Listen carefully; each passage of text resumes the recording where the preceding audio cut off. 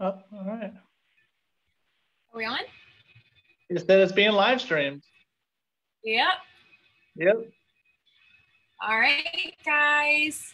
Hey everyone, good afternoon. Sophia Towns, Program Coordinator for the Lowcountry Autism Foundation. Welcome to another um, Community Conversations Facebook Live. Um, today we have a great topic and a very special guest, one of my old buddies from Laugh, Jesse Ossick. He is an, a pediatric occupational uh, therapist at Beaufort Memorial Health Link for Children. And Jesse and I are going to discuss common sensory issues um, that we find in kids with autism. So please, guys, feel free to post any questions uh, that you may have for us in the comments section, and we will do our best to get those answered for you. Um, so, Jesse, I'm just going to go ahead and turn it over to you. And um, here we go. We're just so excited that you're joining us today. Hey guys, um, yes, so my name is Jesse. I'm an OT at Beaufort Memorial Hospital, um, HealthLink for Children, and I've been an OT for about nine years. Um, and I got interested in sensory integration, um, specifically in OT school, because my mentor was one of the um, pioneers under Dr. Ayres, um, who started the sensory integration theory. So ever since I, you know, first heard about sensory integration, it is just an overwhelming but also very interesting area of practice. And um, I know if you your children get um, OT, you're very familiar with the word sensory, sensory processing, sensory integration. Um, and you might pretend and nod your head to some of the things the OT is saying.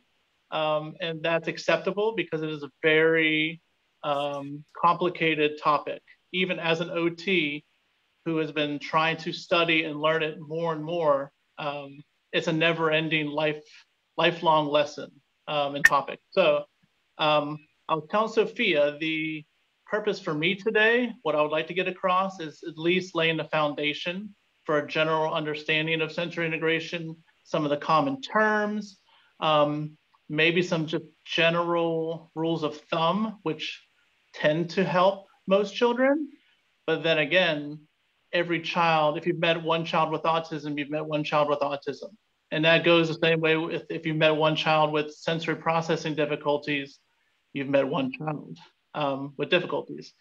And then to add another layer, a child or individual's sensory need changes. Could be week to week, day to day, or year to year as they age. So um, you can throw anything out there. It's probably something I've heard of, but also there's always room to be surprised.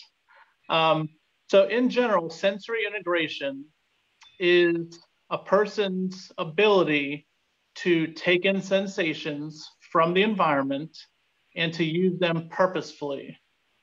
Um, so, for example, we have um, different sensations that we take in. We take in auditory, what we hear. We take in visual input, what we see. Um, we take in tactile input, which is what we feel on our skin. Um, then we have some hidden and more complicated systems. We have the vestibular system, which is a little um, organ about the size, or if not smaller than our pinky nail, that rests inside of our temporal location up here. Um, and that detects where we are in space, whether we're moving fast or slowing down, where our head position is. And then we have the proprioceptive system. Um, what that is, is information that we get from our joints and from our muscles primarily. So um, to give an example proprioception, um, I'm closing my eyes and I'm lifting my arm up. And I know that my arm is going up because my muscles are contracting, my joints are going together. So that's telling me my arm is going up. So it's really important to get the foundation of what these terms are, because then as OTs, we know how to um, target different difficulties. So, for example, um, and a lot of it comes from watching your child. Um, and it's every session and just atta- attacking um, some of these difficulties is a partnership between the OT, the child, and the caregiver. We should all be a team member because what I see in a 45 minute session might not be what the parent sees seven days a week. And when the child is able to verbalize what they're feeling, then that's the most um, important information we can get as an OT and a parent. So, you know, ideally we get information from all three um, parties. So, um, what I mean by when you watch a child, so say your child um, is constantly jumping off the bed or crashing or being silly, you know, they have the maybe they have the coordination, but they keep falling off of equipment and laughing. That might indicate that they are seeking proprioception or proprioceptive input which is the crashing, the rough and tumble play, the muscle. They love to climb. Um, it's like that input, that hard input.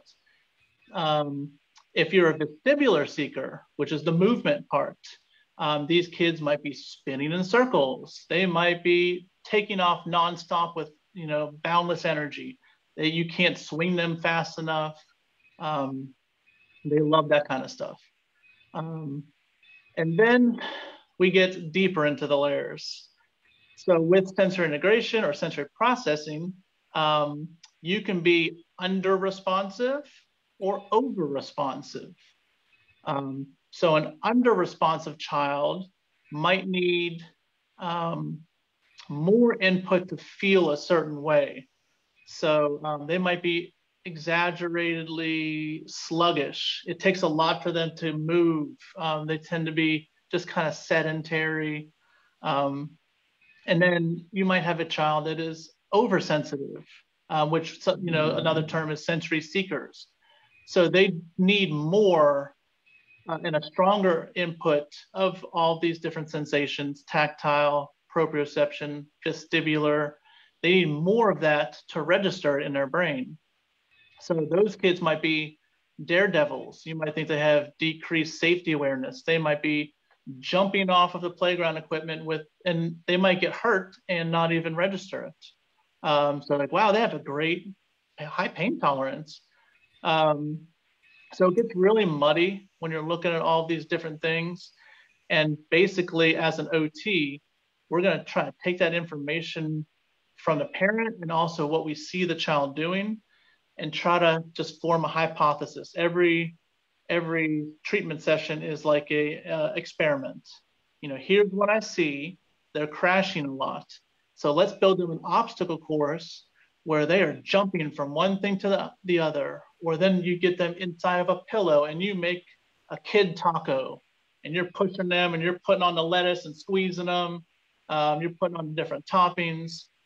And most, if you're a proprioceptive kiddo and that is what you've been seeking, then you tend to be um, more organized after you get that input.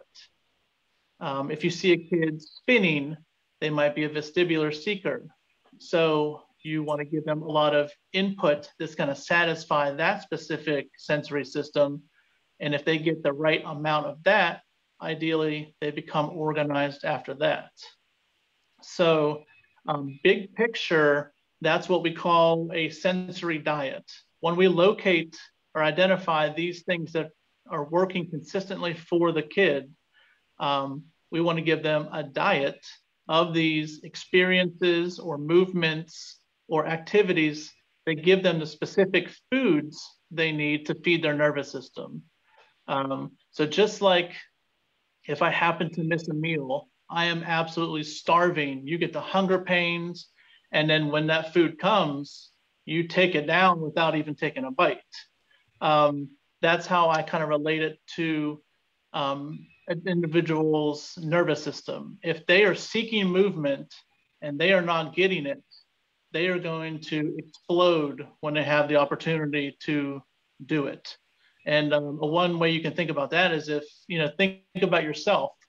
If you're sitting at a desk too long, sitting in a class, um, a continuing education course, you know, and you just feel like you're about to explode. You've been sitting there for two hours, you're losing focus, you're not alert, you're, you know, your nervous system and your brain is not ready to learn anymore. We're shutting down.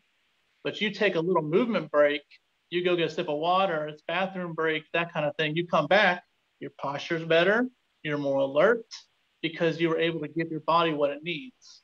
We understand that as adults most of the time. You know, we know I need a cold shower to wake me up. I want a heavy blanket or pillows on top of me while I watch TV. It comforts me. I've been inside too long. I need to walk, go walk the dog, and you come back and now you feel renewed. But you know, a lot of kiddos or individuals, and especially those with autism, might not be able to articulate that, especially if they have decreased language skills. So it is important to watch for those signs so we can see, okay, maybe they're seeking this, or maybe they need some more of this. And then we build them a diet to give them scheduled activity breaks throughout the day based off of what they tend to seek out or need um, so that they never get to that point of hunger strike like i'm going to go crazy if i do not get it we hopefully give them the foods they need or the meals sensory meals they need throughout the day to stay satisfied alert ready to learn and organized um, usually when they're not getting the input that they want or need um, that's when you see the behavior. And the behavior is just an end product. It's not always a purposeful thing. They're not trying to be bad or not listen or go crazy. You know, their bodies and nervous system are desiring something so bad that they have not gotten through the day. So, big picture, that's what we're trying to do in OT is identify what they're seeking or what they need more of. You know, some kids if they're avoiders, you know, they don't like getting their hands messy. They don't like being um, on swings. They feel insecure. Um, we need to slowly progress and slowly and progressively give them those experiences so that they can go play on the playground and not be scared. Um, they can play with their peers. Uh, they won't try to sit against the wall outside and not get the socialization skills or not experience the fun that you get with playing on a playground. Um, if we can address the issue of them being overly sensitive to touch or to like glue, um, we can slowly grade activities to where we make them more responsive and more organized and be able to participate in craft time or at the water play table or um, to be able to tolerate clothing without having to have such a fight or flight response. Um, so that's a lot. That's certainly not everything, but I want to see if there's anything that I've said thus far that um, Sophia or anyone else might have a question on. I don't think so. I think um, if we could go back to is the child under responsive or over responsive? So if they're under responsive, the input that that child needs is going to be lighter, right? If and they're or, if, if they're over, wait, I'm sorry. Here we go. This, this is where it gets tricky. Uh oh. if, if you're under responsive, that means you need more of a certain input to feel satisfied. Um, if you're over responsive, that is the fight or flight. So I have an over responsive, we think of like a baseline as like, I can tolerate clothing. That's a normal response. I have, if I'm over responsive to tactile input, this tag, I cannot um, cancel it out and move on. Right. Um, my skin, my skin is not accommodating to it. So okay. I'm over responsive to that. If my feet leave the ground to step off of a curb and I'm like, oh my gosh, I need to grab onto something, I feel like I'm falling off the edge of the earth. That is an uber responsive response. Um, so that's usually what we see. We usually see the over responsive or under responsive, or the sensory seekers or the sensory avoiders that's what's the easiest thing to see. Like I know my child hates having his hair cut or his head tipped back. Um, and that's a tactile over responsive and a vestibular over responsive. So, eh, you know, we look at what is disruptive throughout the day. You know, what is getting in the way of the child just being able to go through his daily routine.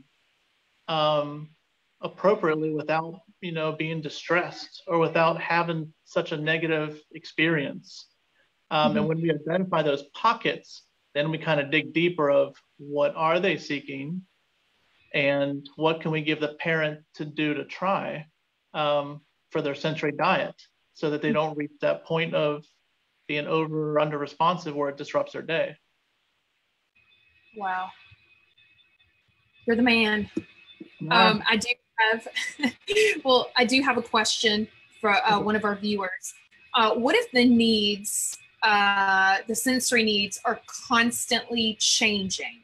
Um, yes. What if if there is a, a constant change with their sensory needs? How do you stay on top of that? How do you address that? Right. Um, it's got to be an ongoing communication with the OT. Um, like I said, what works one day um, mm-hmm. might not necessarily work the next day for that same child. Um, there are general concepts like, and I always take it back to being an infant. Um, what is calming to infants? They like to be swaddled. So usually um, compression, squeezes, um, proprioception. So like that, you know, you see people do joint compressions or squeezes, that kind of thing. Generally, that is a mm-hmm. calming thing. That proprioceptive input and deep pressure tends to, ta- to calm the whole nervous system, whether they are sensitive to movement or to touch or um, sensory seeking with oral oral things, the mouthing. It's just the great the great calmer. Um, and then as far as um, another calming thing is we you know we tend to rock babies back and forth. It's not a spinning thing, but it's a, a gentle rhythmic, predictable rock. So that plus the deep pressure tend to be calming. Um, mm-hmm. Stuff that is unpredictable tends to be alerting. So I'm spinning. You know, when you we spin, we get you know come off a roller coaster or something spinning us the teacups. We are ready to go. You know, it's alerting. It's unpredictable. Um, if a mosquito comes on my back, back of my neck, I am alert. I am on fight or flight high alert because I feel that. So hmm. those things tend to be alerting.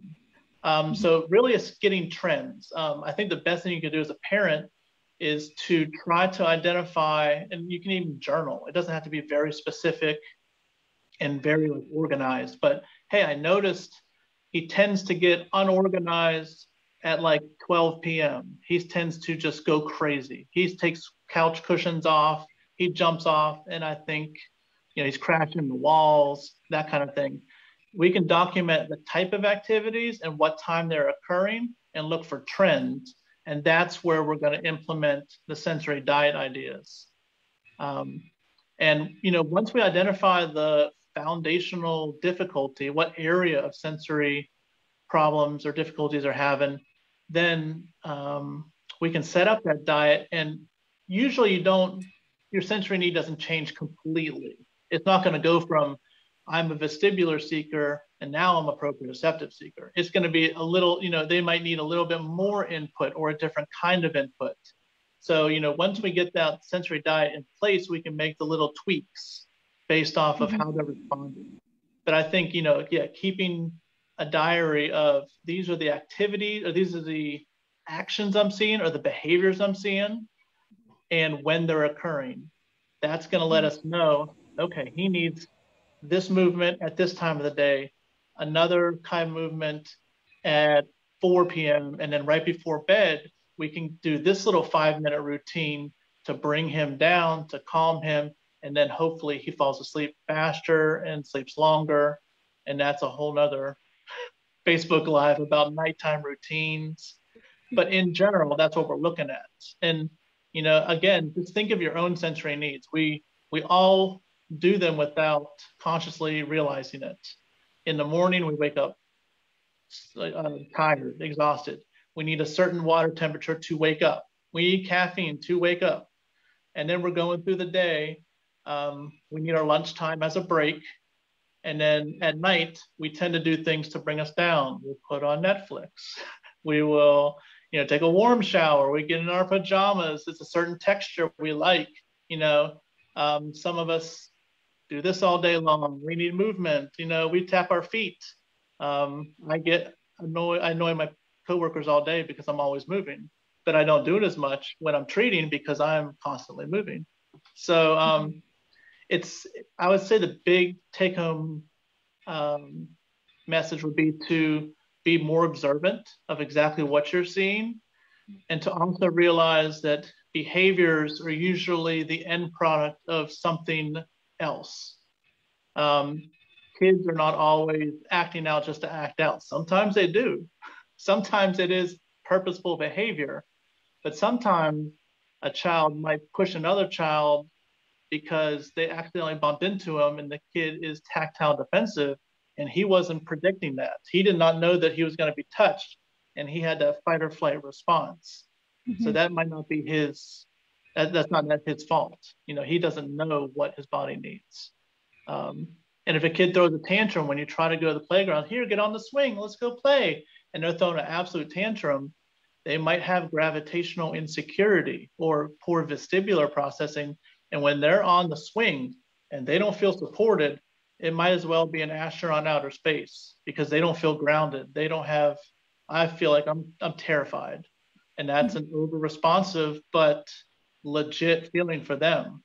So mm-hmm. it's, it's hard. It's easy to see the behavior and see um, the outburst, but to take the time to try to figure out why is this happening. I don't think this they're trying to be disruptive on purpose.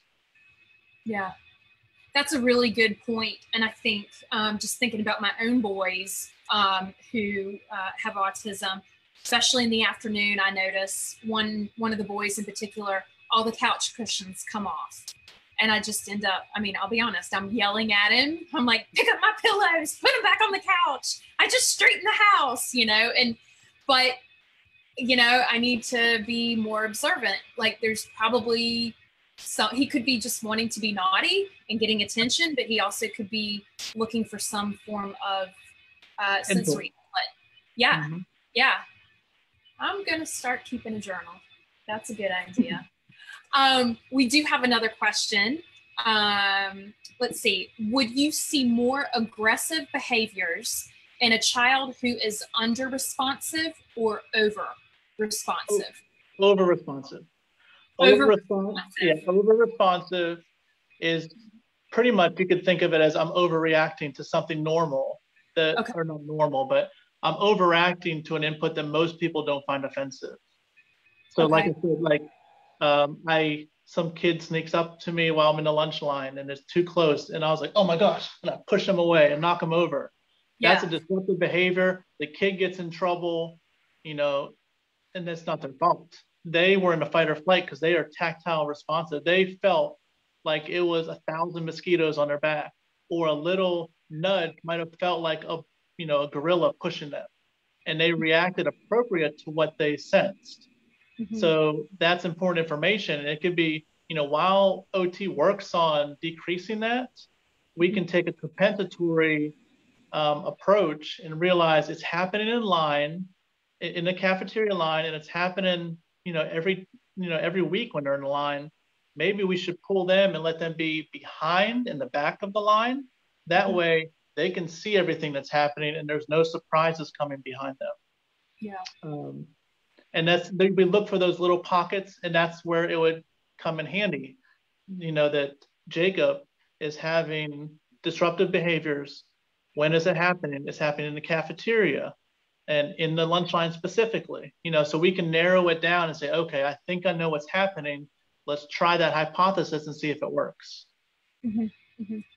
that's really good that's really insightful definitely i wonder how many kiddos we can save you know, as far as being sent home from school or getting in trouble just mm. from that one example.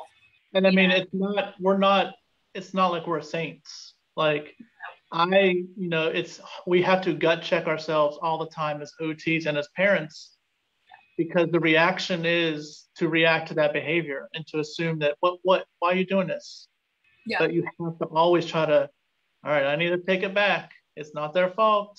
We know yeah. that they they have sensory issues. So um, yeah. it's hard. It's not going to be 100%. You know, you're not going to be able to react appropriately, even most of the time. But if you do some of the times, maybe it'll become a habit of, okay, let's let's dial it back. What did I see? What happened? What can yeah. I do? Yeah, yeah. This is great, and it is right at four o'clock now because I know Can't believe already. Right? it's already time for me to do another obstacle course with a kid. Oh man. Um, so guys, Jesse literally has been talking to us in between patients. So unfortunately, we do have to cut it off right at four today. Um, but the awesome thing is um, we're going to have Jesse back and we're going to be able to dive into more specific topics. Um, for example, um, I don't know, pica, you know, eating things, mouthing things that are not appropriate. Um, maybe nighttime, uh, bedtime routines, trying to wind our kiddos with autism down, prepare them for a good, a good night's rest. Um, please let us know what you want to hear um, because he is just a plethora of information. And so we will present uh, topics on on what you guys want to see. So please let us know in the comments, um, and uh, we would greatly appreciate it. Jesse, thank you, friends. We appreciate it, and I know you need to skedaddle to your next little one. So thank you again. You're welcome. Thanks, guys. And All like right, guys. Said, please put as many comments or questions below, and we will make sure that we categorize them, either, either address them directly or um, find out that there's a big need for a certain topic, and we'll make sure that we uh, address it in the future.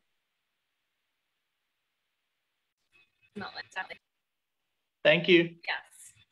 Thanks, guys. Have a great day, everyone.